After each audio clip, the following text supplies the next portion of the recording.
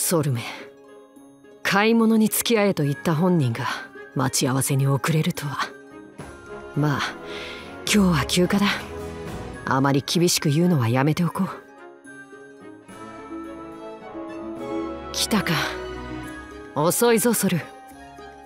なんだ貴様らは。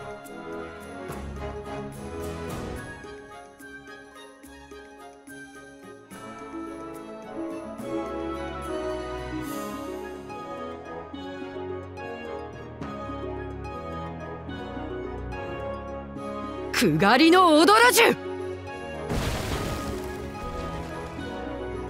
ナンパなら相手を選べ汚らわしい。まったく。これだから男というものは。ん？あれは？おいついてくんなよ。俺だってついてきたかねえよ二人して街中ぶらついてたら仲良しと勘違いされんだろうが。てめえがこの時代で悪さしねえように見張ってんだよ。俺にも立場ってもんがあるからな。立場とか気にしてんのかよ。随分と小さくまとまっちまったな。俺はてめえみてえには。なるんです。これがてめえの未来の姿なんです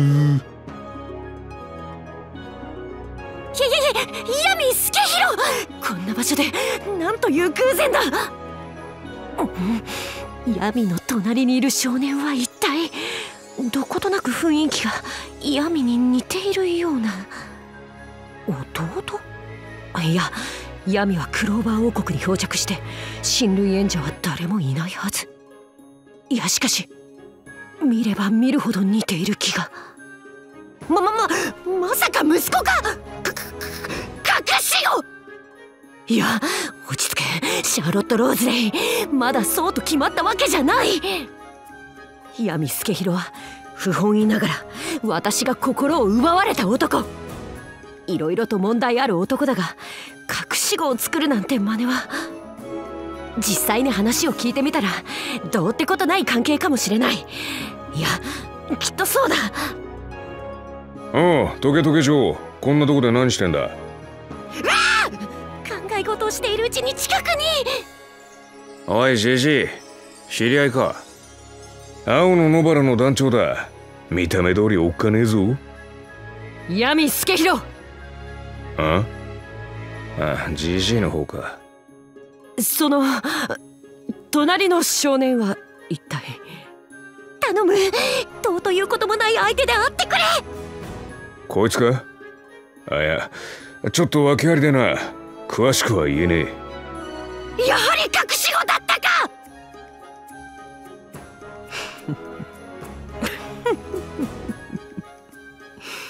闇よ。なんだ？相手の女は誰だ？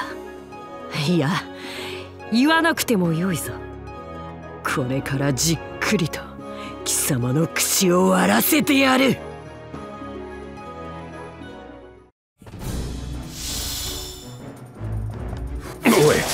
体何だってんだよ？黙れ知れ者が。お喧嘩か？面白い。お姉ちゃん手伝ってやるよ。よかろう。共にあの不埒な男に急を据えてやるのだ。任せな。よくわかんないけど。私の茨そこを動くな。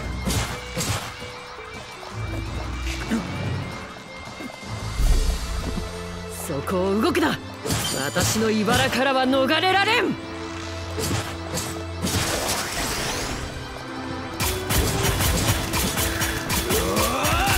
私の茨からは逃れられん。そこを動くな。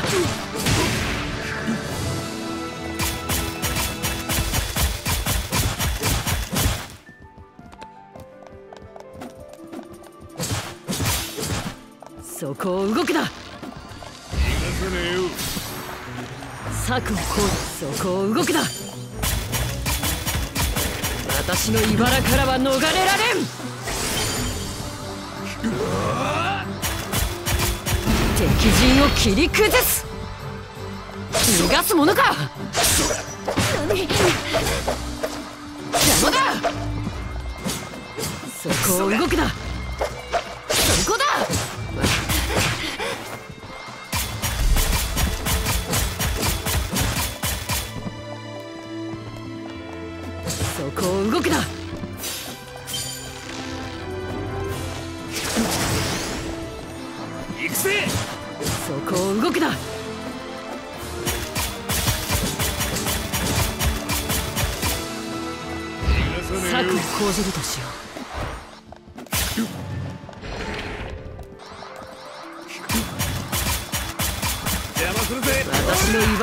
逃れそこを動くな。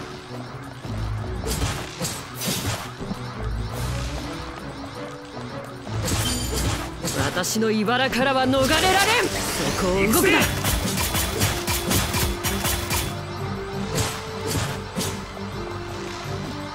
私の茨からは逃れられん。そこを動くな。そこを動くな。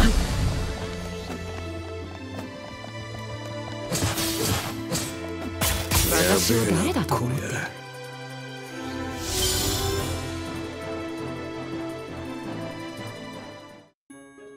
はあ？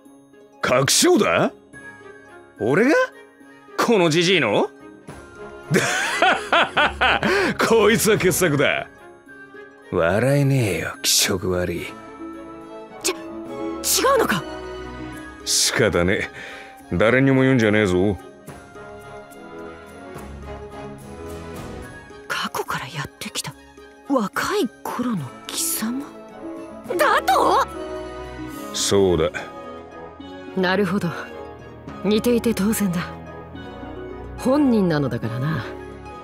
ということはこの少年がやがて18の私を救いに来るのか？何じっと見てんだよ。まあ若い頃から俺は男前だったから無理ねえが。なあ少年。あ？君は今どういう生活をしているのだ？どうって手下と一緒にホラー穴で暮らしてっけど？よかったらそのうちで保護してもよいぞ。なんならちゃんとした教育も闇を私の手でもっと真摯に。いや俺の存在が消えちゃうからやめてくれる？魔法帝どこですか？いい加減に溜まった仕事を片付けてください。もう本当に困ったお方だ。魔法帝魔法帝。うん言ったか。相変わらずしつこいなマルクス君は。部屋にこもって仕事をしていたらまだ見ぬすごい魔法を見逃しちゃうかもしれないじゃないか。どうしてそれがわからないのかな？わかりませんよ。そんなへりくつは。な君は今ここを通り過ぎていったはずだよ。あなたの側近になってどれだけ経つと思ってるんですか？大方魔法で私の行動を先読みしているのでしょうがだったら先読みされている前提で行動すればいいだけです。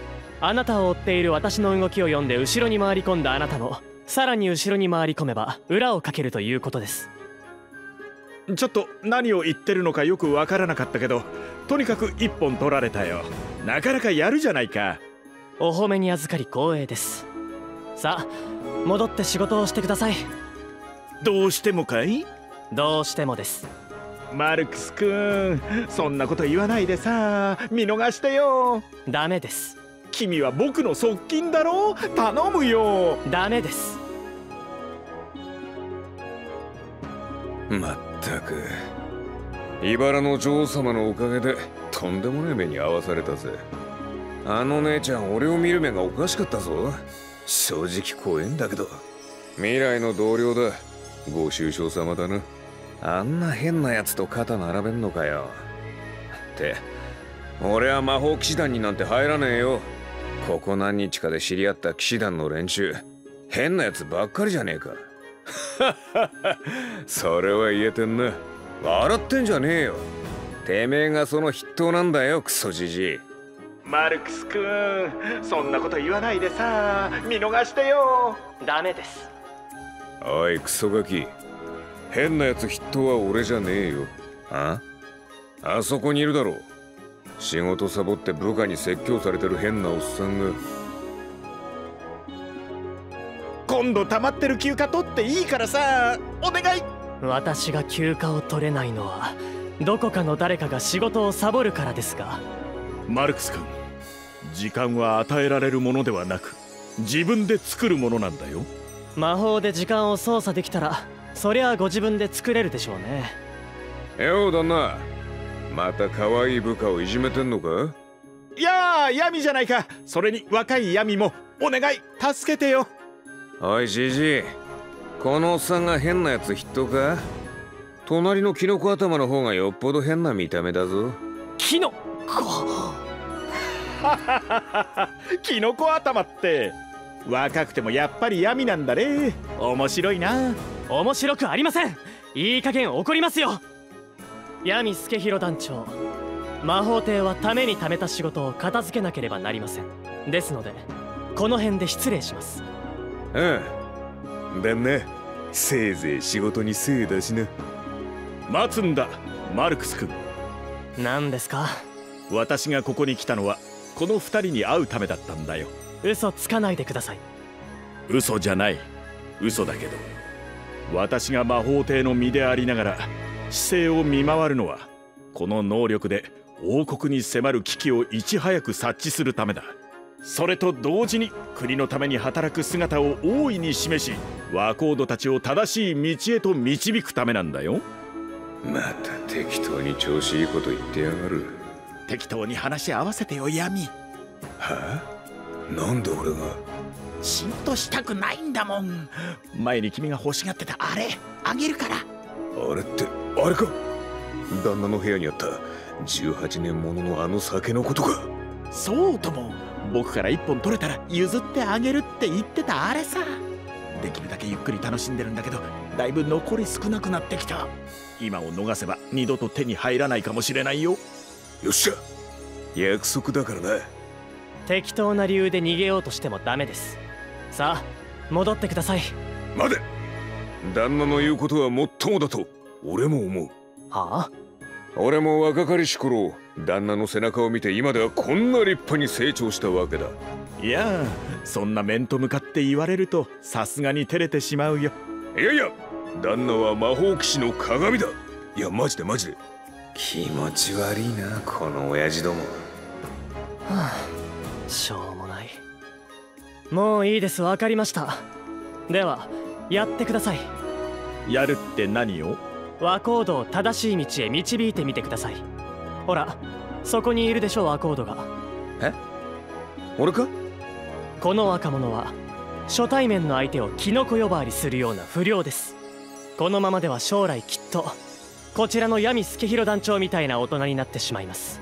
きっとも何も俺なんだっての俺みたいな大人になるに決まってんだろバカ言ってんじゃねえよ。てめえみてえなジジイになってたまるか。マルクス君僕らは今世にも珍しい貴重な場面を見ているんだよ。はあ。絶対に逃れられない28歳の闇になるという運命を懸命に否定する14歳の闇の姿さ。今の俺がクソガキにとっての辛い運命みたいに言うのやめてくれませんかねそうは言ってないけどね。考えてもみてよ。会うなり僕にぶっ殺すなんて言って喧嘩をふっかけたのは後にも先にも君だけだよ。そんな若かりし日の君が王国のいや誰かの下で働くなんて想像できると思うかい？はあなんか旦那の顔を見たら無性にムカついたんだよなまあ結局鼻っ柱をへし折られた挙句に旦那に拾われることになったんだが。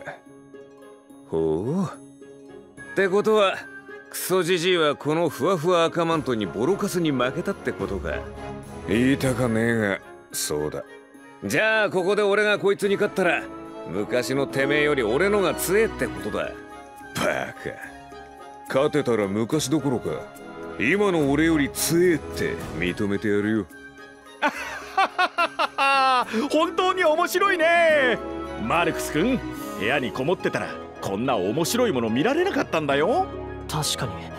ってどさくさに紛れてサボりを正当化しないでください。どいてろうすら青色キノコ今から俺は限界を未来の俺を超える。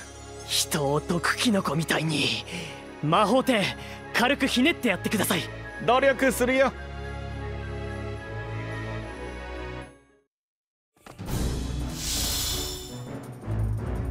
っしゃ!魔法帝ってやつの力見せてもらおうか!さすがに本気は出せないよ。旦那命だけは残してやってくれ。俺が消えちまうからな!二度と私のおしゃれカットキノコなどと言えないようにガツンとやってください。おしゃえ?さて。逃がさねえぞ。やるね逃がさい。仕方ない。これでどうかな。さて。面白い。かかってきやがれ。今の俺の全力だ。マナゾーン誰が相手だろうがぶん殴る。これでどうかな。みたいなやつを俺がぶん返すよ。こいつで。まだ死ねないね。逃がさねえぞ。マナゾーン。返すよ。時間反転魔法。クロノアナスタシス。かかってきやがれ。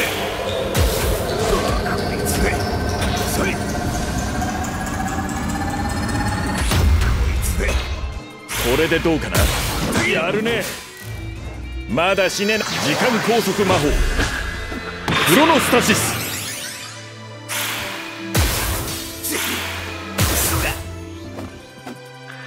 仕方ない。返すよ。マナゾーン。クロノスタシス。この人数だったらいけるかな？クロノスタシス。これでどうかな？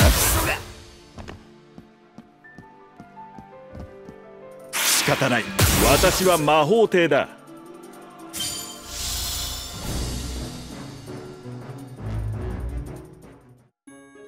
くそ俺の負けだ。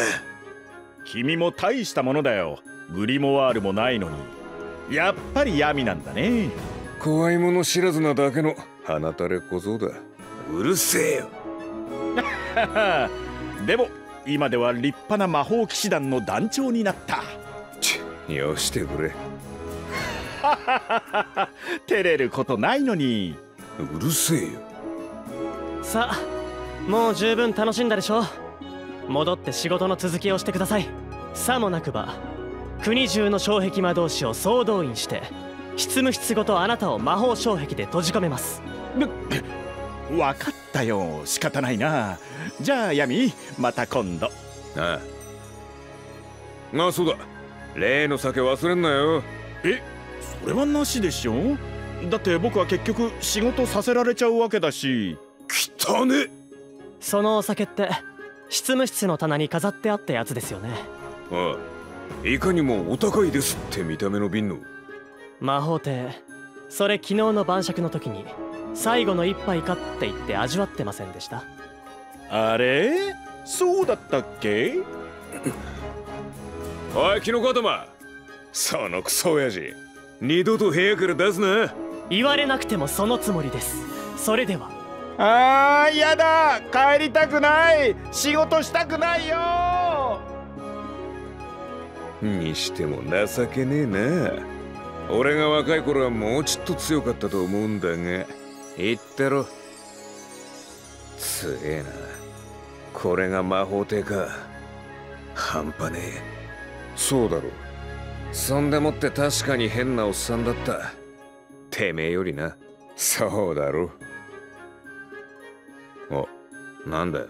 なんで俺が旦那の顔見てムカついたか分かった。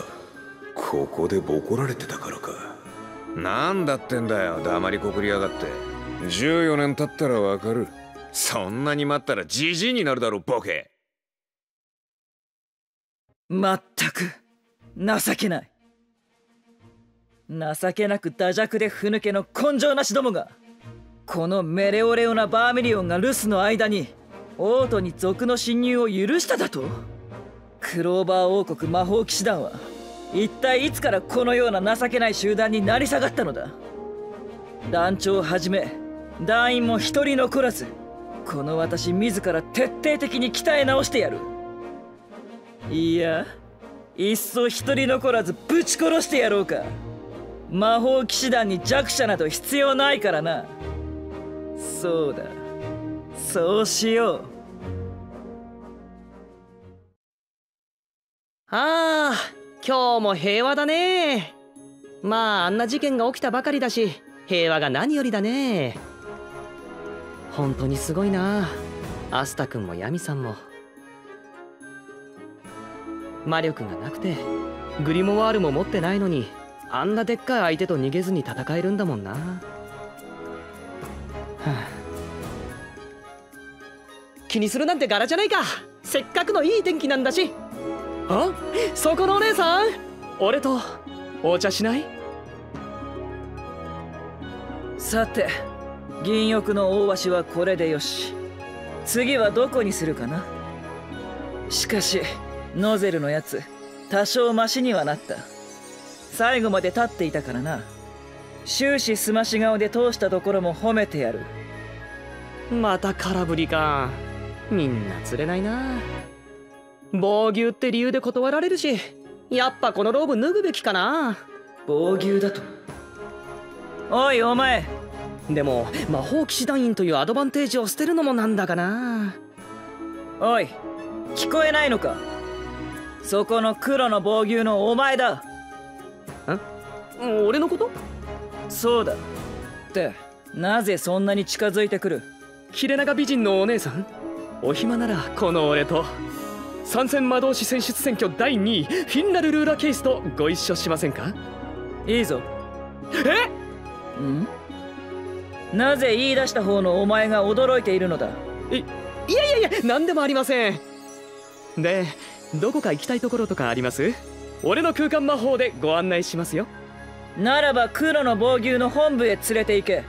ええ本部は宿舎とはいえいきなりの自宅訪問。大人の女性は一味違う。何をグズグズしている？早くしろ。積極的！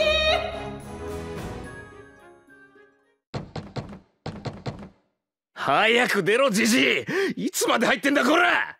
うるせえバカ野郎俺のトイレタイムは誰にも邪魔させねえ。大体トイレなら他にもあんだろうが。昨日と場所が変わっちまってどこにあんのかわかんねえんだよ。だったら探せよ。若いうちは足動かすんだよ。ふざけんな！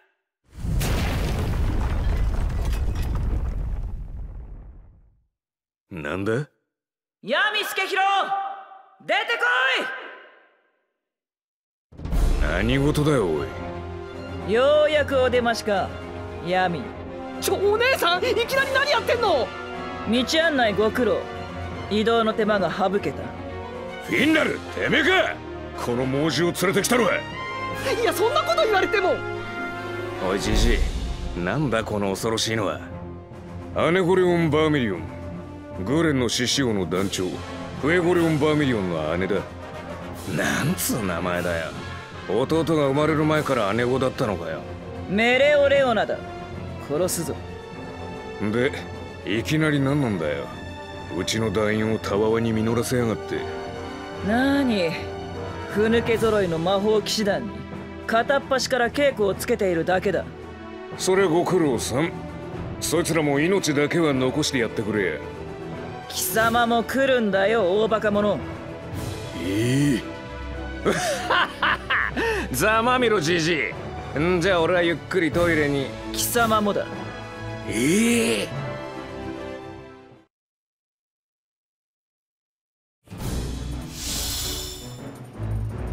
相手は強いのかな。楽しみだな。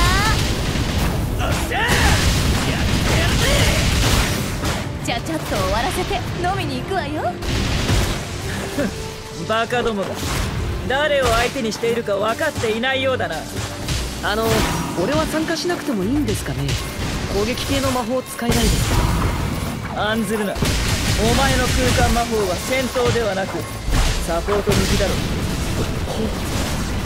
お前はこれから私に料理される仲間を医者に連れて行く役だ。それはそれで嫌な役だな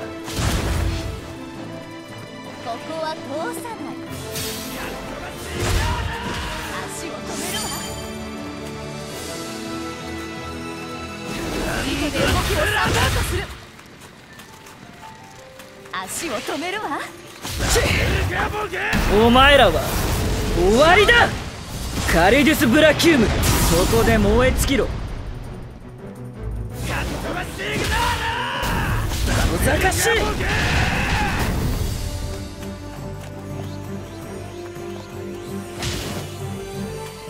い。いい度胸だ。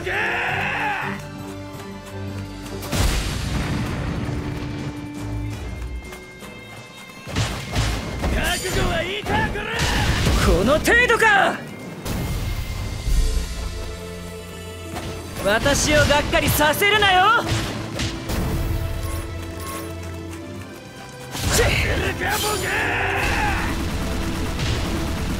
この程度か。ややがったな。全て焼き尽くす。次だ。次。よろしくお願いします。仕方ないわね。面白い。かかってきやがれ。魔力なしの小僧とアシエ殿の娘。それにあれが九段の過去から来た矢に助弘か。なるほど。憎たらしい面をしている。撃ち殺す。カリデュス・ブラキューム。どうした？この程度か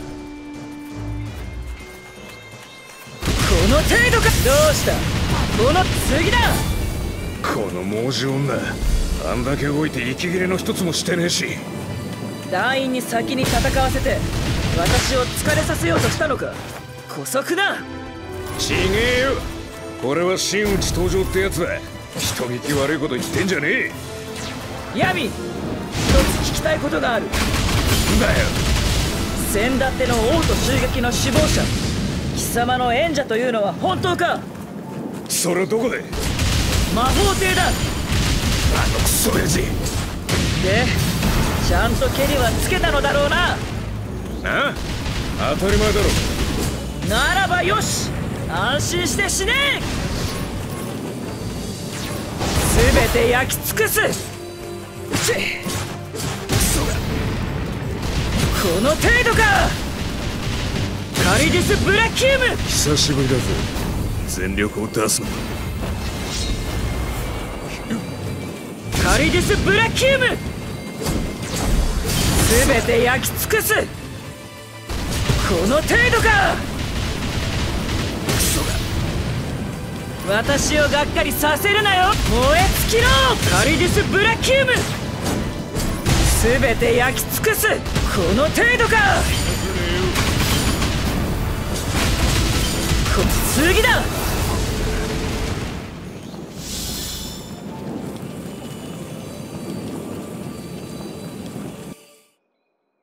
手間をかけたな。もう帰っていいぞ。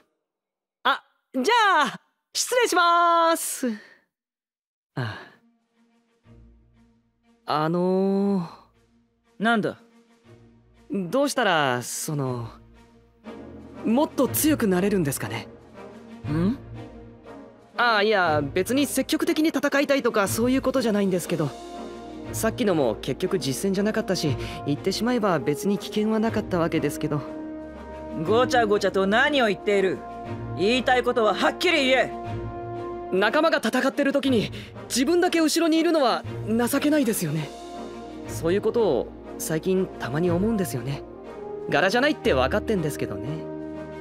戦いは最前線でのみ行われるものではない貴様の空間魔法は後方支援で十分役に立つだろう。戦力を敵の背後に移動させ奇襲を行うこともできる。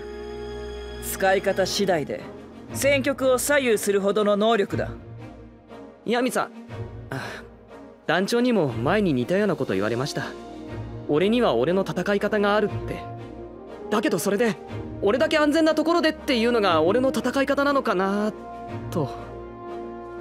前線での戦いに耐えられるかどうかには個人の魔法の能力が大きく関係する。そうだな。例えば貴様と同じ空間魔法の使い手でも金色の夜明けの副団長ランギリスボードの魔法は極めて戦闘向きと言える。空間を跡形もなく削り取ってしまうのだからな。ほんとすごいですよねあいつの魔法。あの若さで副団長ってのも。なんだ？知り合いなのか？弟なんですよね。兄弟？だがこいつのせいは？弟に勝ちたいのか？いやいや俺とあいつじゃ才能が違いすぎますって。勝ちたいなんてとてもとても。ただただ？俺にもっと才能があればあいつに全部背負わせちゃった親のプレッシャーを半分持ってやれたのかもとか。貴様の望みが叶うかどうか何の保証もないが才能に劣るのであればあとは死ぬ気で努力するしかあるまい。お前の段にいるだろう。生まれついての才能ゼロでありながら魔法騎士団員になったバカが。死ぬ気で努力か。正直柄じゃないしどうなるかわかんないけどやるだけやってみるかな。おいコラフィンラルこの野郎。てめえがどうなるかはもう決まってんだよ。死ぬ気の努力じゃねえ。今ここでてめえは死ぬ。いやいやいやいやいやヤミさん落ち着いて。あんな猛獣を子犬感覚で拾ってきてんじゃねえ